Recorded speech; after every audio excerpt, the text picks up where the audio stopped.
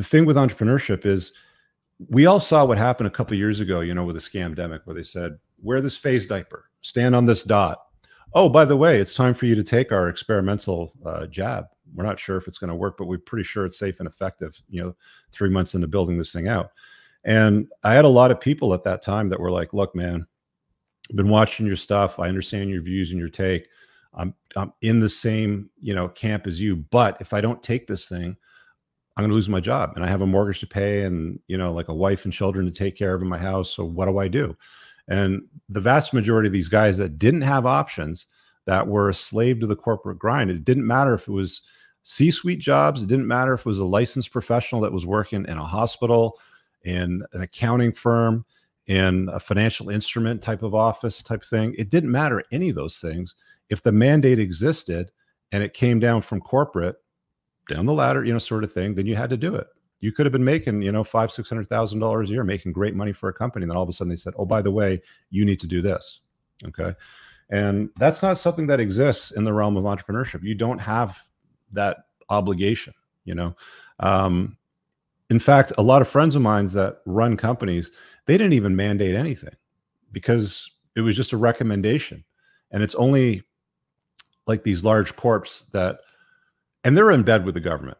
Okay. I mean, I've talked before about my lobbying efforts and the collusion between uh, government, financial institutions, and how they work together very clearly to their interests. You know, a lot of people think, oh, the government's all there to take care of us and look after us and all of those things. And it's like, dive a little deeper down the rabbit hole, my friend. There's something to learn there. There's a lot more going on than what you think. So, back to the notion of the entrepreneurship, you have that flexible flexibility and freedom. Let me tell you a story about my buddy Adrian. So, he was living in Ottawa a few years ago when this thing kicked off, and he had a facility in uh, the states and his partner worked down there and he worked up in uh, canada they you know they met up uh, you know once a month and did their thing and then he started seeing what was happening with mandates standing on dots wearing face diapers and then what was coming over the horizon after that which was going to be take our experimental uh, jabba juice. And he said you know what? I'm out. He sold everything. He had a location independent business that he could run from anywhere in the world that didn't rely on a storefront an open neon open sign or any of that any of those things. Packed his bags sold his g-wagon sold his condo took his girlfriend dogs they went down south and they started investing in mexican real estate. They've been doing quite well.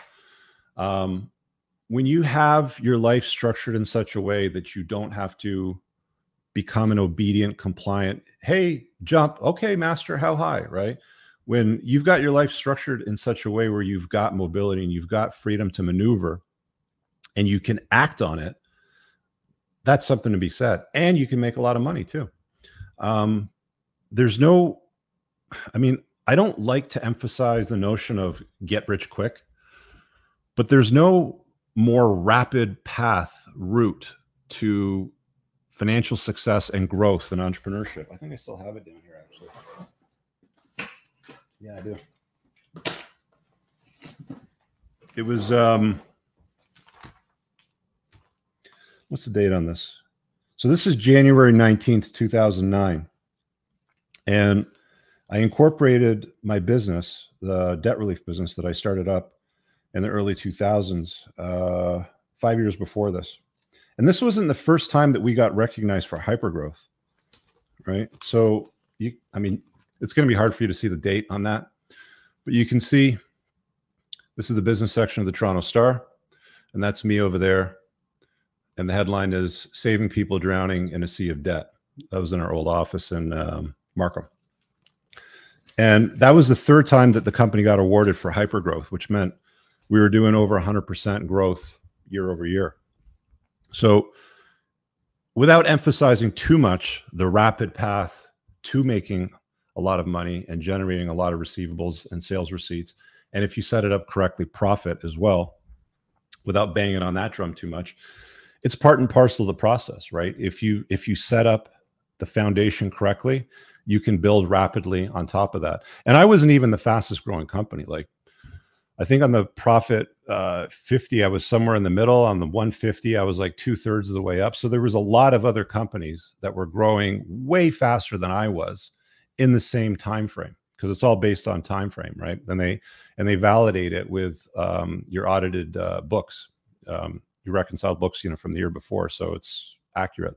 Um, they're all private companies, so they don't publish uh, profits, but what they were publishing was the uh, sales receipts. So yeah, is it a rapid path? It is, absolutely. I really hope you guys enjoyed that clip. If you want to watch the full length podcast, you can find that over here, that clip's from. If you're newer to the channel, make sure you hit subscribe over here and pin down below in the top comment. You'll find a bunch of useful links to my website, my supplement line books, and a bunch of other stuff. Have an amazing day. Peace out.